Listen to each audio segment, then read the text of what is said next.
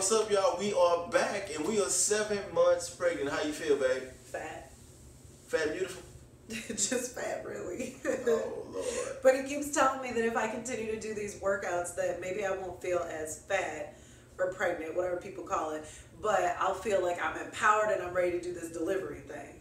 Yeah, and you also have a much easier pregnancy. It helps you to get that snap back and come back off your pregnancy, and you be nice and strong, and you get right back into it after you finish. He told me that if I do these workouts, that he's going to get a trip for me. So I figured that if I do these workouts as long as I can, then I know that about four months after I deliver this baby, I'm about to get a trip to where? Uh, I think we're going to Jamaica. Jamaica. So I'm gonna show you guys these workouts, and I'm gonna continue to do this until I can't do it anymore, so that I can get a trip to Jamaica. All right, now let's do it.